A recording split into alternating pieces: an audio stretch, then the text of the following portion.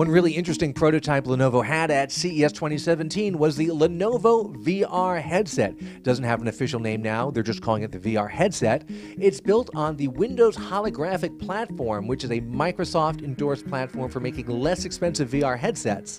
Uh, this is also lighter than other VR headsets like the HTC Vive or the Oculus Rift. And in trying it out, this was a non working prototype, I found it easier to put on. Uh, the front panel lifts up and out, and it works better with glasses. I have a hard time fitting my glasses behind, let's say, an Oculus Rift.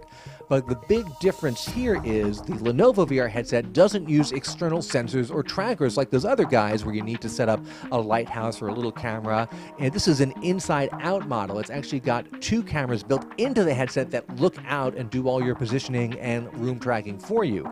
Now, that allows for more augmented reality because the cameras on the headset can look out and present to you inside that view of what you're seeing and then put things on top of it, a little bit like Microsoft HoloLens, just in a more traditional VR setup.